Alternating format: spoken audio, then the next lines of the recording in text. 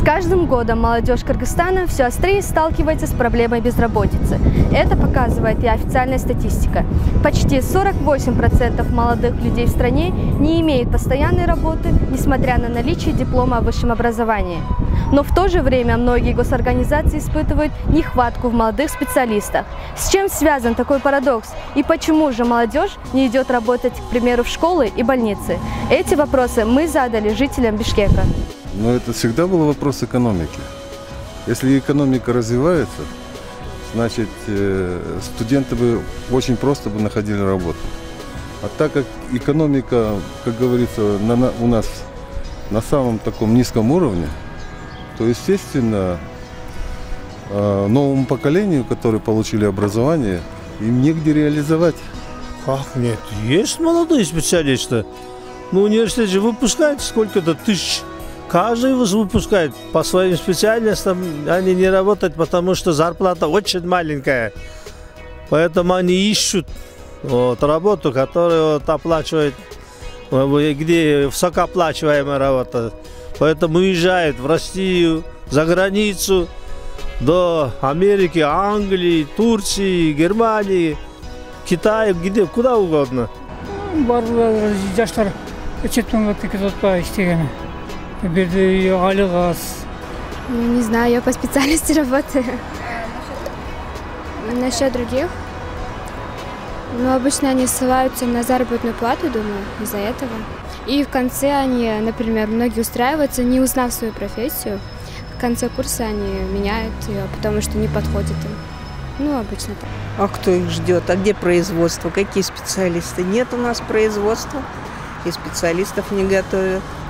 Поэтому надо открывать производство. Это самое главное. Надо, чтобы работали наши фабрики, заводы. Челпон прекрасная обувная фабрика была. Нет. Где? Только, по, э, по-моему, пошивочное производство работает. Это молодцы, швеи и все. Молодых специалистов у нас полно. Единственное, это мое личное мнение, их заработная плата может устраивать. У нас сколько институтов, университетов. Они каждый год пачками выпускают, правильно? Согласна. Но у нас экономика такая, что их полностью не может обеспечивать. И, соответственно, заработок не, заработная плата не устраивает. Из-за этого, я думаю. Именно из-за того, что нет рабочих мест для определенной специальности. Ну, это и есть ответ. Все, скорее всего. Батная плата. Наверное, заработная плата маленькая и с утра до вечера работает ради 15 тысяч или там еще меньше даже. Наверное, не хотят люди. Ну, неинтересно, наверное. Новое время.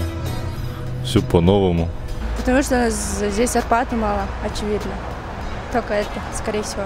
Ну, самая главная причина, потому что у нашей молодежи нету, по-моему, знакомых, чтобы устроить их на работу. И нету вакантных мест.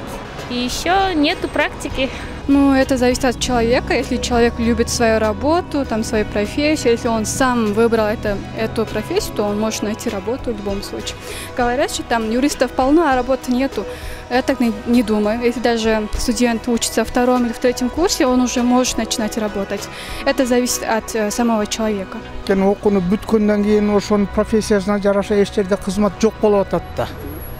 үчүн деген чоң саясат өзгөрүлүш керек жаштар эмне окууну бүтөт кийин эмне экономист болсо экономист болуп иштей турган жери жок. Же башка инженер болоюн десе инженер болуп иштей турган жери жок. Азыр баардыгы эле юрист болгусу келет. Аны айла жок. Колунда диплому турат да базарга барып соода кылат наверное состав улучшать качество обучения улучшать все больше профессионалов больше будет.